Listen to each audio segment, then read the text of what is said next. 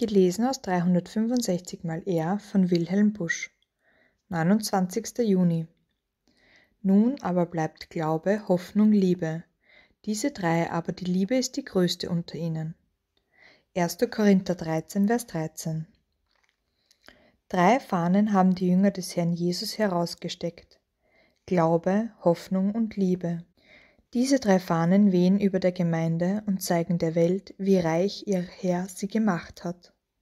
Aber nun sieht der Apostel Paulus in unserem Text ein seltsames Bild. Einmal ist diese Weltzeit zu Ende, einmal wird das Versprechen Gottes wahr. Siehe, ich schaffe einen neuen Himmel und eine neue Erde. Die alte Welt vergeht in den gewaltigen Stürmen der letzten Zeit. Die neue Welt bricht an. Da sinkt die eine Fahne zu Boden, die Fahne des Glaubens. Denn dann wandeln wir, wie die Bibel einmal sagt, nicht mehr im Glauben. Wir sind zum Schauen gekommen, wir werden ihn sehen, wie er ist. Und nun sinkt auch die zweite Fahne, die Fahne der Hoffnung. Denn dann ist alles Hoffen zu Ende. Nun ist alles Erfüllung. Wir sind am Ziel. Aber die dritte Fahne, die Fahne der Liebe, geht ganz hoch. Sie weht als einzige über der neuen Welt Gottes, wo alles, alles Liebe ist. Die Liebe ist die größte unter ihnen. Diese Fahne der Gemeinde dauert in die Ewigkeit hinein. Wir wollen hier und jetzt recht uns unter die drei Fahnen stellen, damit wir zu der neuen Welt Gottes gelangen.